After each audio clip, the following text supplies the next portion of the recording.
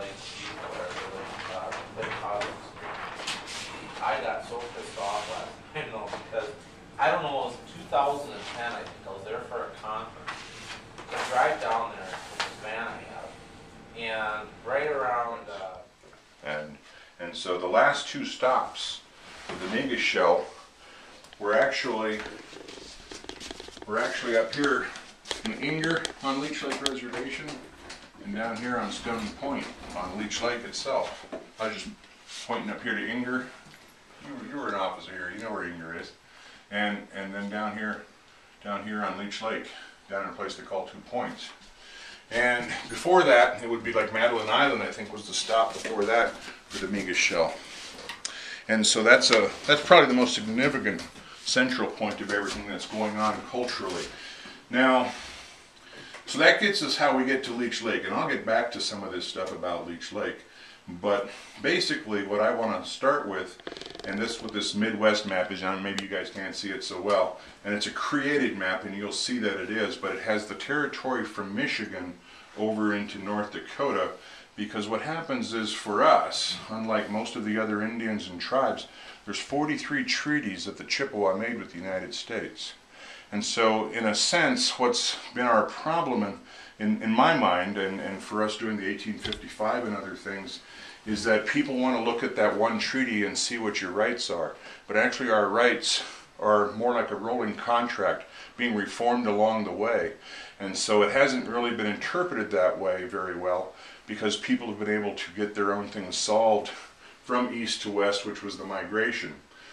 And so when the treaties came across, when the different lands are being taken here, you can see each different little block, just like on these maps.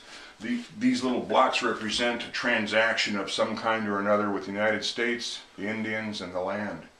And as they came across in 1825, well, after a battle, it was the third, I guess the third big battle in Indian country with the Chippewa, they had a treaty in 1825 in Prairie du Chien. And what that treaty line did, come over here and look a little bit if you want. But anyway, there's a, it's easier to see. I'm sorry I got this map over here. Come on over here, Charlie, on the other side. Walk across the camera, it's okay. There's this, there's this boundary line that the United States established under the Treaty of Prairie du Chien. When it comes into Minnesota, this boundary was meant to separate the Chippewa from the Lakota or the Sioux. And that was the purpose of the treaty. And in that treaty, they recognized that this would be our territory, this would be their territory. If we wanted to hunt in their territory, we would request that. And if they wanted to hunt in our territory, they would request that of us. There wasn't even any land or money really involved. And so the Chippewa, and I believe in the 1825 treaty, when you look at it, there's even someone from Red Lake, identified as being from Red Lake, who participated I would be down Prairie du Chien. I don't think it's marked on here, but Prairie du Chien would be somewhere around here. I think that's the river down here. But anyway, Prairie du Chien's way way down here in, in Wisconsin. And so the Chippewa said, well, that's all well and good, but we're covering a big territory. There's too few of us to carry the word back, and so we'll have to meet next year to discuss this again so everybody can hear the words that you're telling us right now. And so they agreed to meet in Michigan. And it took me a while to find the place. It's called Fond du Lac, Michigan, 1826. And Fond du Lac, there's a place in Wisconsin over here called Fond du Lac, but that's not the place because it's not on the south shore of Lake Superior. And so then, so then I was uh, checking it out a little bit more, and there's Fond du Lac in Minnesota, which is where the reservation is, and that would be up over here by Duluth. Well, as it turns out, Fond du Lac was a term for the far end of South or of Lake Superior, and that was where the fur trading post was. And as the fur trade industry moved, the Fond du Lac fur trading post moved from right here at the very mouth in a very beautiful place in Minnesota here by by St. by uh, in St. Louis River. Um, they moved about 18 miles upstream to where the Fond du Lac Reservation is now, and that was because the fur post moved up to there. This is now a place that they call John J. Cook State Park. And if you look at that, you can see why the Indians would choose to live there. And they say that that whole bay was covered with wild rice, you know, before you would get out into the main part of the water. And the way that the fish would be trapped there to catch them and spear them and stuff, it's ideal. You could live there forever, obviously. So, so it took me a while to find out find out where Fond du Lac, Michigan was in 1826. It's Duluth, Minnesota in 2012. And so sometimes it's not always easy to understand what you're reading. So maps are important as well as other other things. So so what happens is, and this goes back to that little piece of paper that I was starting to draw on here as well, for Minnesota and Wisconsin. So what you have here is at Sandy Lake, this is what I call the top of the world. At Sandy Lake, you're at the crossroads. This shows the St. Louis River. There's a place called Savannah, Savannah River, and there's a portage that's seven miles long between the Savannah River and Sandy Lake that will get you over to the St. Louis River, that gets you to Fond du Lac, where we were just talking about, where the 1826 treaty was held. They said there was over 600 Indians at that treaty session. It lasted several weeks. But anyway, so that gets you out to here, and you can go out to the Atlantic. If you follow the Mississippi River all the way over, there's a couple of portages here, the Wild Rice River and Buffalo River. You can get to the Red River, and eventually you get up to Hudson Bay. Or, as we all have learned, no matter where we grew up, the Mississippi River goes all the way down to the Gulf of Mexico. So, in reality, we're not only at the top of the world, but this other map that I put over here, it's Minnesota state map, and I won't dwell on it, but it has, let's see if I can find them. It has the watersheds. And so with this watershed right here, this is actually the subcontinental divide. And from here on, all the water flows north. And so on Leech Lake Reservation, right here, the water flows in all the directions. You know? So we're not talking about just an odd location that some Indians settled in. You know? It's, it's really very interesting stuff.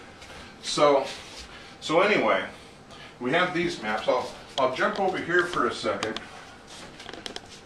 This map is the present boundaries of the Leech Lake Reservation, the brown part. The black part represents three of the 1855 reservations as they were mapped by the United States. Um, I'm not sure what they understood or didn't understand and what we were saying, because I haven't read all of that stuff and I'm not so sure it's written down. But the interesting part to me is how much of this is water.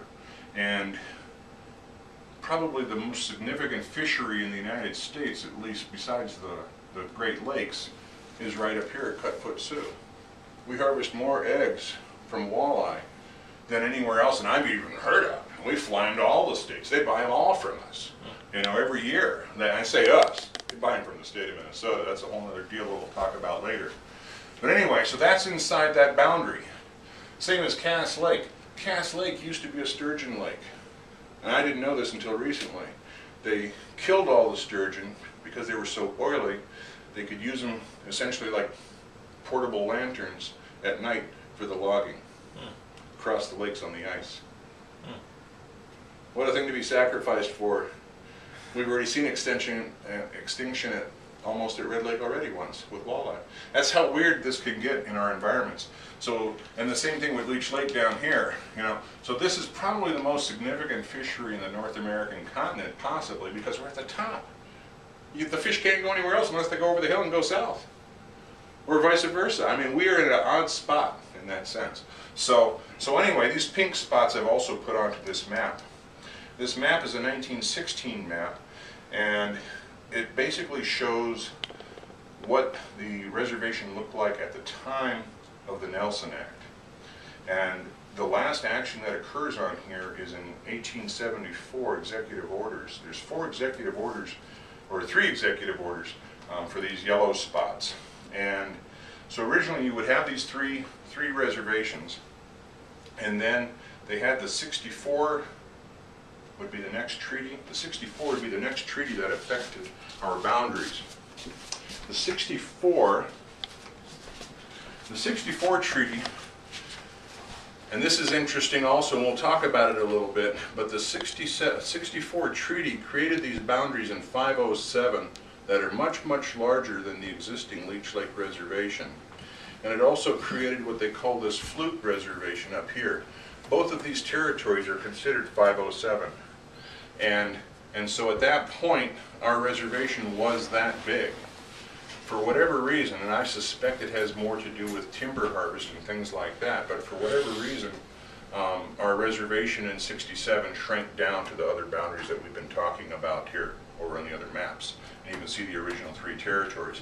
And so what I suspect happened because Minnesota became a state in 1858 and there were still timber interests who had significant congressional ties and things like that, is that they were able to persuade Congress or somebody to enlarge the reservation so that the rules would go back under Indian country instead of the state, so that they would get the license fees and they would be able to say what trees were under their jurisdiction.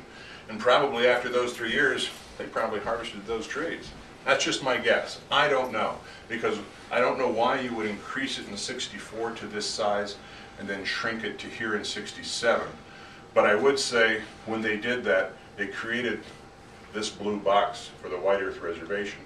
Now, that was a relocation reservation, and that's where they were trying to get us to all go, was over to White Earth.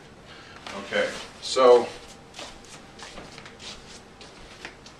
so going back a little bit in time, we've got all these different treaties, and our, our treaty territory would stop somewhere around here, I guess. Yeah, somewhere around here, and then go over.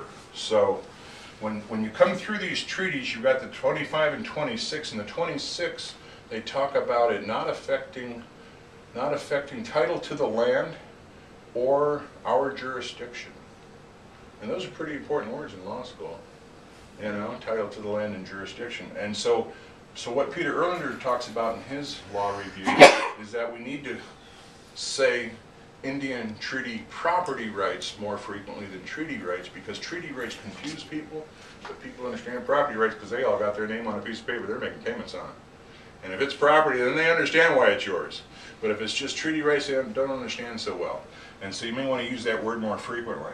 Well, anyway, in 1842, make sure I'm in the right spot here when I'm looking. You can see it up here easier up in the UP and so forth with uh, northern Wisconsin and Michigan. In the 1842 treaty, the United States said, or noticed or recorded, that all of the land that had been held since 1825 inside the Prairie du Chien boundary, all the way across, all the land that had been ceded or yet to be ceded was held in common by the Lake Superior Chippewa and the Mississippi Chippewa. And that's what they recognized was two main bands at that time. Now that's 1842. You know, these guys are explorers, they pretend to know all the shit that was going on, but they were just passing through, so it's hard to really say what they did and didn't understand about who we were or weren't. But some people would say that we were all one nation, and when you hear different people come together, that's how it's discussed normally. Um, if there are two groups, the Lake Superior and the, um, and the Mississippi, that's okay too. Um, sometimes I think it's better to have more people at a treaty signing to make it more credible, but I've seen treaties that only have two names on them too, and, and they're held to be believable too. So it's hard to say how all that does or doesn't work.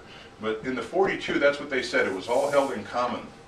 And, and there's some litigation that goes with all that, and we'll talk about that, but not today, I don't think. Not in any big way. So then, so you had the 37 down here, just barely cut into Minnesota, and the 42. Well, Wisconsin became a state, I think in like, was it 1842? Might be somewhere right around there after this territory, because the 37 and the 42, so it could become a state. Minnesota didn't become a state until 58. And part of the reason is this boundary right through here hadn't even been settled between the British and the United States until like 1842. So how can you make treaties with the Indians about a piece of territory until you figured out what your boundaries are going to be? So we were at, we were at the whim of other people. And, and so when we talk about these water spots, there's a place over, over in Neah Bay in the northwest corner of Washington State where the Makah are. And you might have heard about them. They, they're the whaling tribe. And there, there's 12 bands, but they are the southernmost point up at their point in Washington. And when they drew this boundary, whatever the heck parallel it is, the 40th, 49th parallel, they came right across Washington State, and they were the most southern group, and they were, from there on, prevented from going forward north to meet their relatives in their normal customary way, and they're still prevented to this day because of all the um, Coast Guard and, and um, um, what do they call it, their, uh, oh, that safety Homeland Security. Homeland Security, all that stuff. We'll talk about that in a little while too. And so they thought they always had a treaty right to be with all their family members, and now they're being denied. They have to go through these other methods. Okay, so that gets us up to 42. One of the interesting things, parts that I've learned, we'll just do it on here since I don't, oh, I don't have it up. But anyway, between the 54 and the 55, when the United States started making the deals in, in Minnesota, 37 was the first place. It just comes in just a tiny bit, and I showed you that on the other map where it just comes in a little. Most of it's in Wisconsin. And what they, what I've understood more recently in the last couple of years of what the United States was trying to do um, in terms of developing out west is that they wanted treaty Indians with annuities in Minnesota so that money would come into Minnesota, that, so that there would be people with money to buy goods and services, you know, to establish non-Indian businesses. I mean, that's really what was going on. And so in some senses, what they were trying to do was force a migration of Chippewa to settle eventually at White Earth Reservation, you know. And, and in a sense, we were repeatedly being given money almost money for nothing to relinquish the land that we'd been on. And not all cases we'd migrated or left, but we were being asked to relinquish for money the, the land that we had until all the land was gone. And now we're still being given money for nothing in a sense through these programs and stuff. And so we've been diverted from a real industrious cultural way of life into this other weird government form of the IRA and stuff. And it's really weird to figure our, our way out of it and what our rights are and what we can and can't do. So anyway, when these treaties went, went down, for whatever reason in 54, the Mississippi and the Lake Superior signed off on it. And in that treaty, the Mississippi, who were part of the 55 with the Pillager and Winnibigoshish, which are those reservations, the Pillager and Winnibigoshish, those original 55 reservations, they they signed off, Mississippi signed off on the 54 saying that they wouldn't accept any payment for the territory and that the Lake Superior would get all the money for this. And in exchange in that treaty, the Lake Superior relinquished all claim and interest in the lands west of, of 54. Now, I don't know what that means. I assume this means Lacs Reservation also because it was created in the, in the um, 55 treaty as well, even though it was inside the territory of 37 already. And so that's one of the things that I've been arguing for the Nelson Act settlement, is that these three bands, the Grand Portage, Nett Lake, and Fond du Lac, they relinquished all claim and interest in the lands west of the 55 in December of 1854, so they really don't have any right to claim any benefit from the lands or the timber in the 55, because they relinquished that right. Now, that's written in the treaty, so that's an express treaty right that's meant to protect the people in this territory, but it's recorded in the 54. You know? So that's why I say you got to look at where all of our treaty rights might be along in these ways. Now, the Nelson Act is the reason why they, they talk about sharing those monies the way they are, and we'll talk about that at a different point.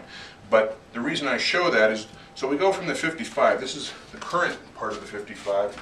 This map is what they call the use and occupancy map, which essentially is the right to hunt and fish and gather, is what occupancy and use means, use of usufructuary.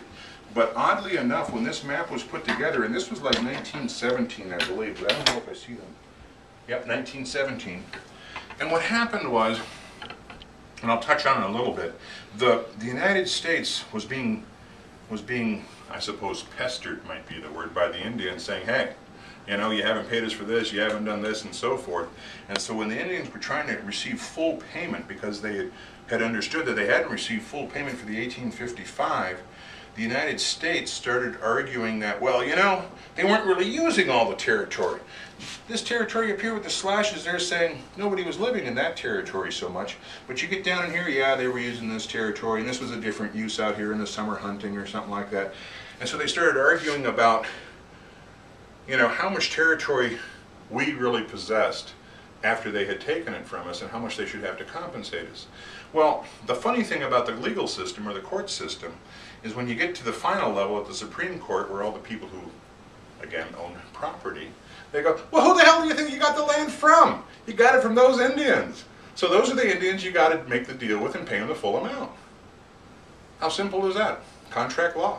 And so even though they had tried to say we weren't using all our territory in the most useful way, it was our territory, it was surrendered, they had obtained it, so they were supposed to pay more money. So that's what this map really represents, is them trying to get out of paying us the full value of it because they were trying to say, we weren't using it all that much. That's how crazy this stuff gets. So when you're in law school, these concepts of law, they would call this like not the highest and most beneficial use, waste, because we're not letting things go. And these are things that people are finding out now, you're supposed to let these things be out there. Environment will take care of you forever if you leave it alone, but we've gone out and done these other things. So that's what this map is about. Now these maps over here, this is the third map. I've never found another map besides um, these two and the, the one on the other side, I think. Hey I- Frank, I've got a quick question for you. Yeah. Oh, Um, it's over here, that's where it is. Oh. Yeah, go ahead. Um, when you're talking about like the occupancy and use, Mhm. um, is is that is that term in 1855 still real similar to what it is today as far as property? Because uh, I, I know there's a I know in like our property textbook there was a case about uh, um, I can't think of the name of it, but um, the Supreme Court had said that um, Indians never really had full title of land. It was uh, an occupancy and use title. Um, and does that play into uh, today's modern litigation? Well, that's, that's the problem. What you'll find, along with the treaties, is they've changed our rules about every 10 or 15 years, maybe every 20 years. Okay. And so, so no matter how sharp you are as an individual, um, if you're not in 2012 where everything's on the internet and you have electricity and other people to talk to on the phone, shit's happening and you don't even know it. You know?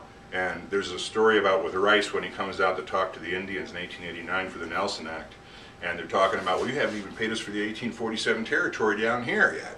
You know, don't even talk to us about new deals yet. And he said, well, you know, I, I can't really get you that money right now. They said, well, that's our agreement. And he said, well, you know, I'd like, I'd like to be able to do that, but I can't, and they won't do it right now. And so what could the Indians do? You know, so they had to go to the Nelson Act where they started part, parting, parting up their reservations. And it's just weird to have him say things, he, he tells the Indians, things have changed, the rules have changed in Washington. And he doesn't go into the, in the document, he doesn't say what he tells the Indians or not.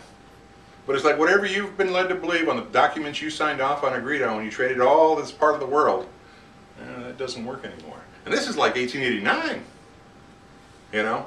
So it's really weird to watch the evolution of what the Constitution would say the supreme law of the land being treaties is and was, and what it has become.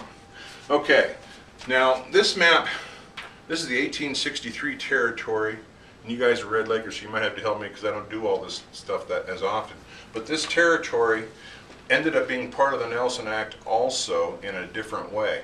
And that also you have the Red Lake Reservation, and this land goes over into goes over into North Dakota where the Turtle Mountain and Pembina Indians also are.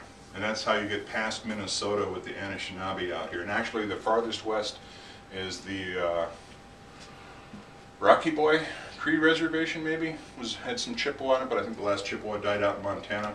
But anyway, so that territory goes all the way out here. These were these were the territories that were ceded in, in 1863 with the United States with Red Lake and Pembina.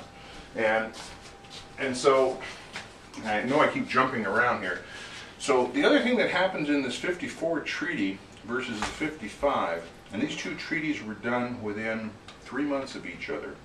So in December of 1854, the words hunt and fish appear in that treaty. In the 37, it says hunt, fish, and gather wild rice. And like I said before, the 25 even talks about hunting. In the 55, the words hunt, fish, and gather appear nowhere. They're not in anywhere in that treaty. And that's been our biggest problem, is that people say, well, you relinquished it because your rights say that you relinquished all claim, title, and interest in the land, in like Article 1 or 2 of the 1855 treaty. Well, it does say that, but what the Mille Lacs decision was about, that came out finally in the Supreme Court in 1999, which was while I was in law school, so all the shit was in turmoil while I was going on. But it went the right way for Indian country. What they said was that there was nothing in the 1855 treaty, because like I said, Lacs Reservation was created by it. There was nothing in the 1855 treaty that talked about treaty rights to hunt, fish, and gather whatsoever. And that the Indians would have never just cavalierly let them just walked away or be given away because they had fought so hard to make sure that they were in there to even fight with the Sioux back in 1825, you know, for that treaty. So the United States Supreme Court understood that, and so they looked at this treaty to see if there was anything in here that took away the rights to hunt, fish, and gather inside the boundaries of the Lacs Reservation or the 37, and there wasn't. Well, that also means that there's nothing in there that took away our rights in the 1855. That's what it really means. But we haven't been able to prevail on that. In fact, we've lost on it in a couple of ways. And even though we're part of the Minnesota Chippewa tribe, unfortunately, the 37 and the 54 have been resolved, but the 55 hasn't. And there are people over towards Sandy Lake and stuff who don't always like that because they've come under the governance of the Mille Lacs Band. Well, having said all those kinds of crazy things, I would tell you that the concept, and we'll get to that and how that works for some of the work you're doing as public defenders and in 2012, but the concept of hunt, fish, and gather is really just food, clothing, and shelter. That's all we're doing today. I hunt every day. I just hunt money because that's what everybody else wants. If they wanted mink, I'd be out getting mink. They want money. Okay, the old roads were the rivers. They've dammed the rivers. They've, they've done other things to the rivers. And so the new roads are the highways. And the new canoes are our automobiles that allow us to get to the places to hunt, fish, and gather. And so in reality, we should be able to figure out a way, and this is what I told my law professors in law school in, in Mitchell back in uh, like 97, we should be able to figure out a way with all of the Anishinaabe nations to unify some kind of a traffic code so that wherever we get pulled over or stopped for doing something, our stuff goes to tribal court inside that ceded territory.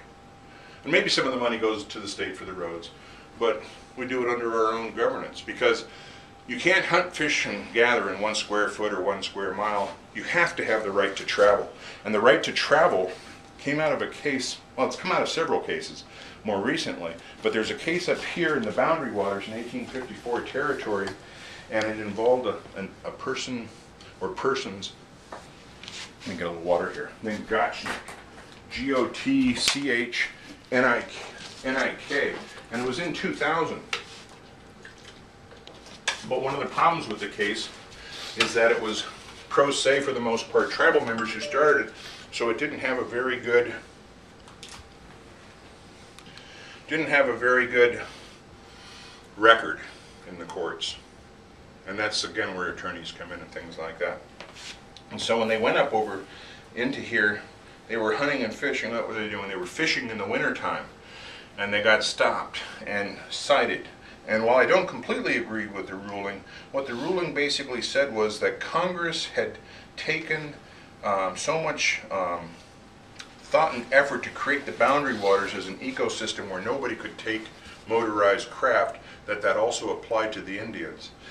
Normally, you would see the word Indians in the legislation to make that actually apply to the Indians, and I don't see it anywhere in the Boundary Water Canoe Act. But, nevertheless, that's what the court held, and said that the Indians also therefore could not just take a car and drive to the lake that they want to and put a boat in that's inside the boundaries.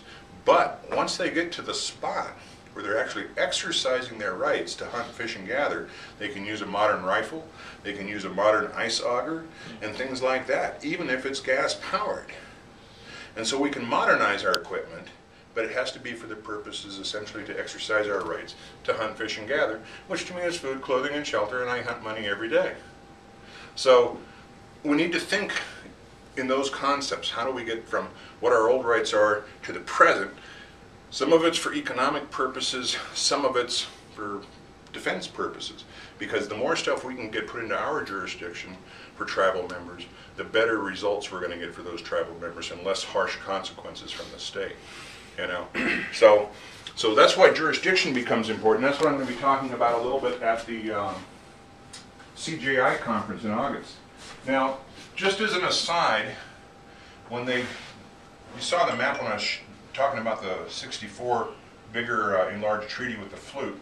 When they went to 67 and made the White Earth Reservation, they shrunk the Leech Lake reservations essentially down to the orange parts. Um, now, I don't know if they've meant to go farther because I haven't found an accurate map that breaks it out. But the reason I have these colors on here is to show what it shrunk down to in the 67. And then ironically, the treaty, treaty making ended in 1870 1871 by, by Congress's act or whatever, but anyway, they ended treaty making. And so the yellow spots here are created by executive order. And I guess what, I guess I'll say a couple of things, but interestingly, and again, that was 1916, um, this is, let's see, is this the right one? I'll go to here first. This is White Oak Point. This supposedly is land that was compensated for the Sandy Lake, Rice Lake, East Lake people who were being, um, essentially trying to be forced over to, to um, White Earth Reservation to relocate them. This land, in compensation, as I understand, ended up here at Leech Lake. And so, like your dad, Joe Plummer, he's White Oak Point. Um, I'm probably supposed to be White Oak Point because all my relatives live in Ball Club, but I end up being what they refer to as a Leech Lake pillager removed because my grandfather's mother went over to White Earth to take an allotment and, and then just came back to Ball Club. So, you know, again, it's that concept of something for nothing almost. In her mind, she was probably saving something over here by going over to White Earth, getting the free land, selling the land, and then returning back to Ball Club where everybody lives. All my relatives live in Ball Club. Well, anyway, that's 1873. It's October 29th. November 4th, 1873, a week later, they're having to add in these parts. This part here, and then in May 26th of 1874, the following uh, summer, they're having to add in this area and this area.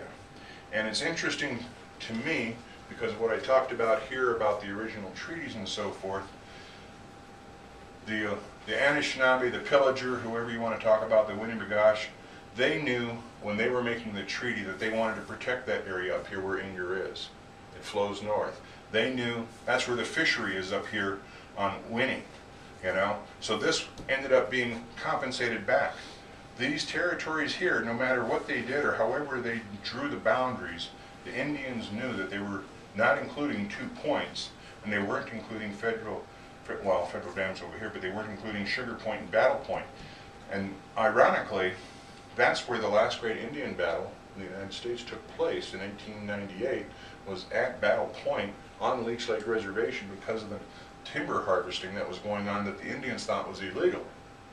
You know, so there's a lot of history of struggle here and trying to prevent the, uh, I guess, the infestation or whatever. They tried to keep Leech Lake like Red Lake, a closed reservation, but they weren't able to. And part of the reason I believe is because they kept moving people um, west and moving them, relocating to White Earth, that by doing that, it kind of kept everybody off balance about what territory to, you know, be guarding or protecting and things like that. And, and when they got to the Nelson Act, they didn't do a regular treaty. They supposedly went to community to community and got a sufficient number of people to sign to agree to the Nelson Act back in 1889. And at White Earth, those would have been the most agreeable people because they had been willing to move and relocate and sell all their land and go. There's some stories that I read in some litigation from um, Monroe Skinaway and some of his people with um, Sandy Lake litigation because they're still trying to get recognized as members of the Minnesota Chippewa tribe. They're signatories to 10 treaties out of the 43, but they're not a member of the MCT, and they'd like to be, at least their own tribe and so forth. And in the letters, they talk about they talk about, and I'll just tell you the flavor of a couple of the letters. One of the letters is about a guy who's uh, down on his luck somewhere around the Rum River here, around Lacs, and he says, and he says to the superintendent of the Bureau of Indian Affairs or whatever it is at the time, and he says, "Hey, I need some money. I'm kind of poor right now. Can, hey, brother, can you spare a dime?" And he says, "Hey." If you want to move out to White Earth with Bob and his family, man, and his kids, man, we're buying his five dollar shack out. We're going to give him ten dollars for that shack, and when he gets over there, we're going to give him eighty acres, and he's going to have a farm, man. He's going to live in high. All your friends are going over there. And, I don't know. I'd rather stay here. Well, if you're going to stay here, we can't help you. You have to wait till your annuity gets here. And so they were essentially starving people out in a sense when they needed help. They couldn't even get that credit unless the, the store was going to give it to them. So then later on, in White Earth Reservation, we can go back over to the box of White Earth because there's some other story to it also with that 708 with those Northwest Townships. And you'll learn more about that. Well, you're not doing, the- who else do we have over there? Oh, Ryan, Ryan. but Ryan's not here, that's why. Okay, so anyway, when they got people moving over here, there's another map that shows it. It doesn't show it so well, but some of these boundaries cut through White Earth Reservation. And what happens is, two things. One, they didn't even have very good maps, so they didn't understand how much land they were dealing with and the curvature of the earth and how the parallels come closer together and so forth. Um, and, and so they actually had the original boundary of Red, Red Lake Territory cutting through here. When they were bringing all the Indians over here, they would have names and they would identify them to the Bureau in Washington and then they would be given allotments. And in one of the letters it talks about, we've looked at the 31 names you submitted and 29 of them look okay, but these other two names look like names we've seen before and we think they've been in line before and we're not going to give them an allotment. Mm-hmm. You know, which is interesting. And then there's a letter after that, you know, it could be a year or two later, and it says something like, Hey, Mr. Superintendent, we've been looking at all your stuff here and and you're saying that you have like 1,700 people left to make allotments to, but by all the information that you've sent us, it shows that there's probably 3,000 people to make allotments to. Is there enough land at White Earth? Well, the answer is no. There wasn't enough land at White Earth. You know, so you, you these things are happening on one side of the fence that we never see. But all this stuff is out there now and available, and so you kind of get some of these stories about how we're relocated.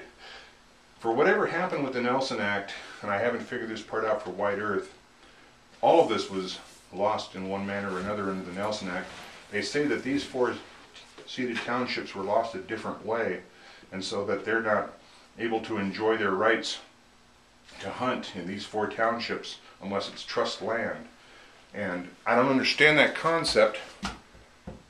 There it is. Because, because it's within the boundaries of the reservation.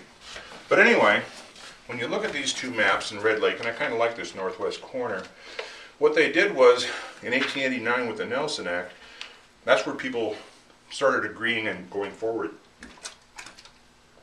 getting the allotments. And according to Erma Vizenor's testimony this last uh, spring on the Nelson Act, White Earth lost all of its lands except for 800 acres. That's pretty devastating. Again, it was those same people that were pushed over and sold things over and over and over. If you look at the treaties, you look at the dates, 37 to 55, that's almost 20 years, you know. You look at uh, another 10 years goes by, you have the 63, um, you get to 67, you know, it's a, you know, another 10, 12 years after that. When you get to 1889, basically all of the annuities from all the treaties are now paid out. And so the Indians aren't getting the money the way that they were just recently. And there's other things that are going on historically and, and different legal struggles. But what happens is that's when they come and say, look, you got all this other land over here. It's more than you guys need. Take the part you need and we'll sell the rest for you. And that was essentially what the Nelson Act was about, part of the General Allotment Act all over the United States. Well, whatever consent they got, and I've, I've read some of the consent stuff from the Rice Papers and so forth at Leech Lake and Winnie and Cass Lake and so forth. Whatever consent they think they got in 1889, they must not have had it here at Leech Lake, because that's where you get back into 18, uh, 1898 with the last, the last great Indian battle here at Battle Point on Leech Lake. And the Indians here were very resistant, and and oddly enough, um, and this goes back to the, the timber um, underpayment and undervaluing the timber being taken. The, the lands and the timber that was taken under the Nelson Act and under the other reservations happened very quickly and early in the 1800s going, going on. There really wasn't much happening on Leech Lake Reservation until 1902, and that would be the Morris Act, the Pinelands Act, and that actually changed the way they did it. They bootstrapped the, the um, supposed consent that they got from the Indians that were willing to come and meet with them. You know, they used that consent probably over here primarily because we were, including Red Lake, we were all considered the consolidated Chippewa of Minnesota at that time. And so they were using a, a broad consent from a lot more Indians. And when they got here, these Indians weren't happy about it. You know, that's why they had that battle. So in 1902, they passed the Pineland Act, the Morris Act, and that was essentially to start creating more of a national forest and so forth. And so they started taking bigger territories of land as well, much quicker. And the Indians, they didn't like this. And so then in 1908, they passed the National Forest Act. And then they really started hammering things. Well, ironically, the Indians at that point, who were supposed to take their allotments and so forth, they said, look, you know, they said, let's talk about this, whatever you want to call it. And they have these other things called the coffee letters. And what happens is the United States told the Indians, look, okay, we'll wait on the land and the timber, but we're going to set up a three-person commission. You pick one, we pick the other two. And then after that, whatever places we, we, we select for 80 acres or 160 acre allotments, if the person doesn't like it, they have 60 days to protest. Well, the Indians, they figured out if you don't select your guy out of the three, the process never begins. And so for 14 years, they refused to select a representative to that panel until 1922. And the, the white people wanted the timber and the land, and they were out there taking it anyway, you know? And that's where you get all this confrontation and stuff going on. So then the United States passed special legislation because the stuff was becoming public in Washington and how badly we were being ripped off and pushed off lands and so forth. They passed special legislation so that the Indians could sue, but they could only sue for the difference of the value of what had been taken. They couldn't get the land back as a remedy. And so they had to be able to show what was actually lost. Well, we don't have all these books and landing things and scaling and so forth. We could have. We were told we could have, but we didn't think we needed to have those things. Well, anyway, with the Nelson Act, so they ended up taking the land, allotting things, all that other stuff.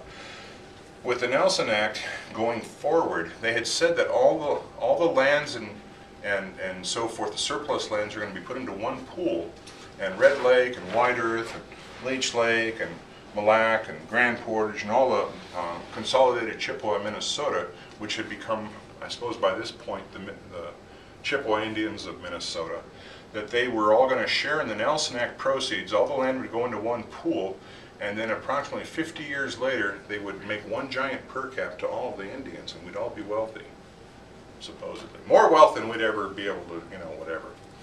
Well, as it turned out, much like what's happened here at Leech Lake, um, because of the, I think because of the treatment of the Indians and so forth here with the, with the rights and resources, it ends up that Red Lake was going to have three quarters of the land going into the pool, and only 15% of the people, and then 85% of the consolidated Chippewa were the other bands that are now the MCT essentially, and they were going to basically get unjust enrichment by getting a benefit of the land sold here and get a cut of that pie.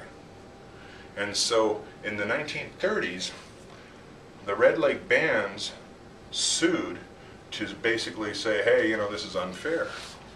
And so, and so, and so the Supreme Court, just like with this deal over here, they said, these guys hold exclusive title. Who do you think we made the 1863 treaty with? It was Red Lake. It was Pembina.